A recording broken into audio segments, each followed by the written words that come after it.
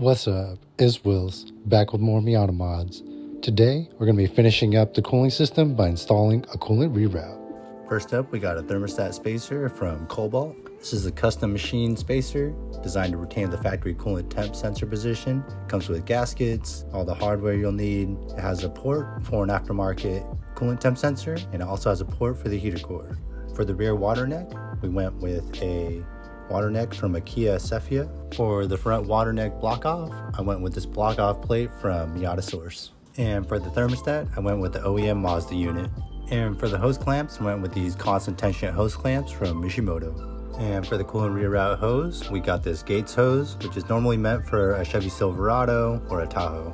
All right, let's go to the car and start off with taking off the rear water neck. To get to the rear coolant housing, we're gonna remove the spark plug wires and the coil pack. Then there's a 12 millimeter bolt on top and a 12 millimeter nut on the bottom holding on the thermostat housing.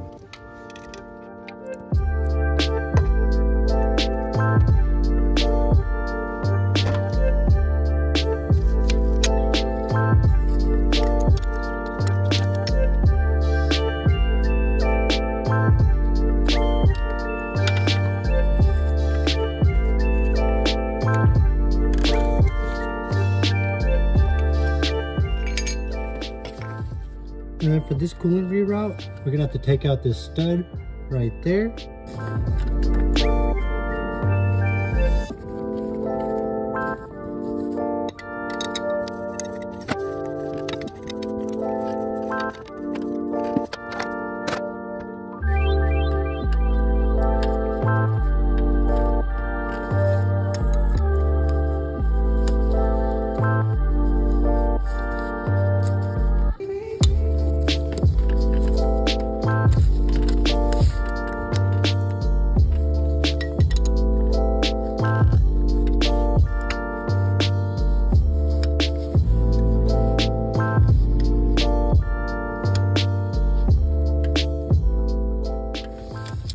Next up, we're gonna take off the OEM coolant temp sensor. It's a 19 millimeter, and then we're gonna transfer it onto the new coolant reroute.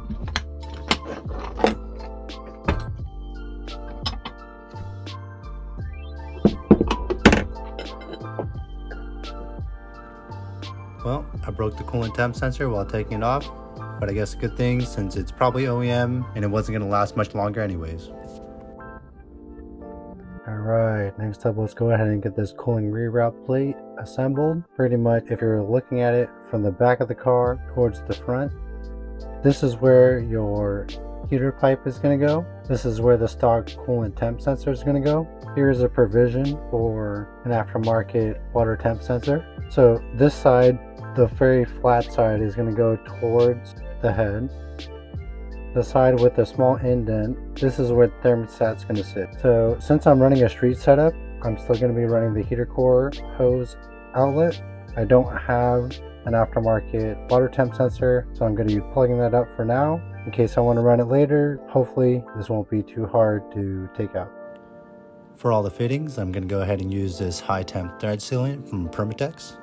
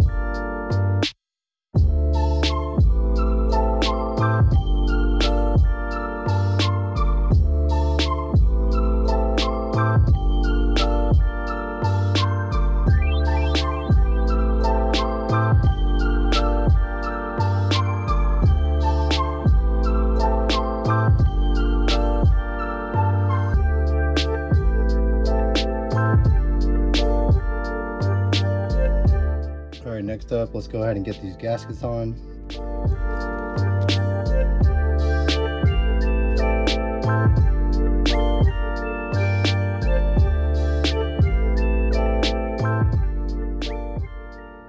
Alright, so this is how it's going to go on on the back of the head. This way is facing up. So we're going to go ahead and get the thermostat, get the hole right there facing up as well.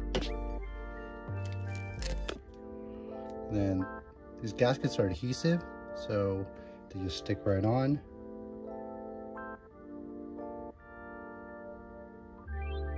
All right, so pretty nice, holds the thermostat in place. Next up, we're gonna get our water neck. That's from Ikea. And it's gonna go facing the opposite direction of the heater core uh, pipe. And for the bolts, the longer bolt, it's gonna be the one on the bottom, and then the shorter bolt will be on the top. There it is. That's the whole corner reroute housing put together.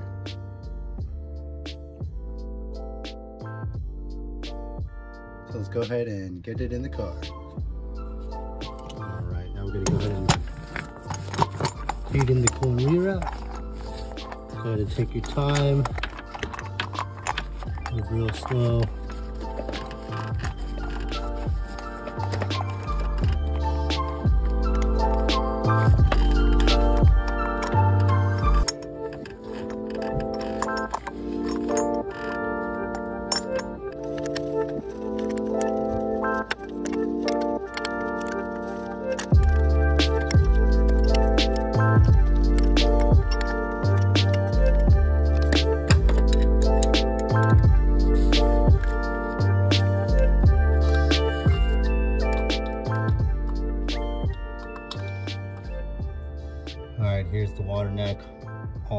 On the back of the head.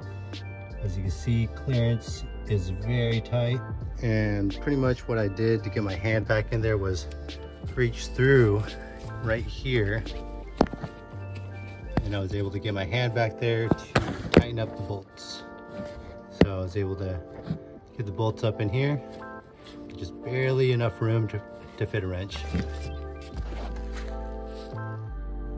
So this whole area of my wiring harness is currently taken out of the car. For you, this might be a little bit of a tighter job if you still have all your wiring up in here. So just uh, make sure you do your back stretches and get real comfy because you're gonna be back there for a while.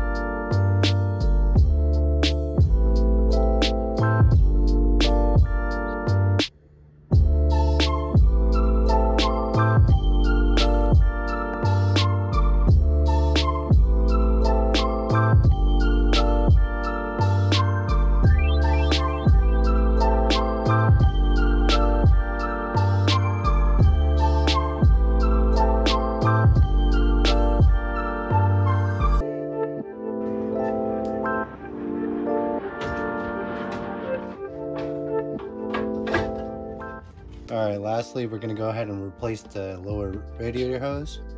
As you can see, the lower radiator hose has this big old gash in it and it's pretty deep. So I figured might as well get a new one. Don't want this to be something that could leave me on the side of the road. The new one we got is from Flying Miata. They're both Flying Miata hoses, but I think this is a newer generation. The curve is just a little bit different. They also came with two constant torque hose clamps all right, so let's go out to the car and get this installed.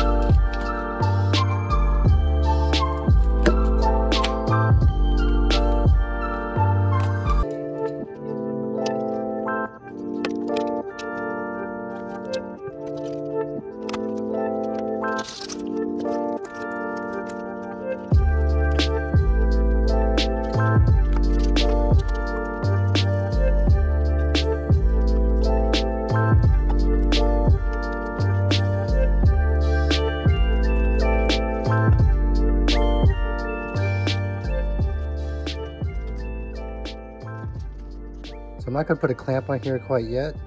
I might do a little bit more trimming. It's a pretty tight fit with my turbo intake.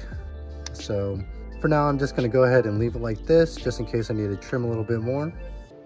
So if you're doing this install in your car, next thing you're gonna wanna do is put back your coil pack, put back the wires, fill up the coolant system and bleed it, and then you should be good to go. For now, I'm not gonna do that because still a bunch of stuff left to do in the engine bay before I can even start the car again. So for now, just gonna leave it. All right, so that's all for this install. Next up on the build, we're gonna be tackling up this mess of a wiring harness. But if you enjoyed the video, go ahead and give it a like. If you wanna keep following the build, subscribe. See you in the next one. Peace.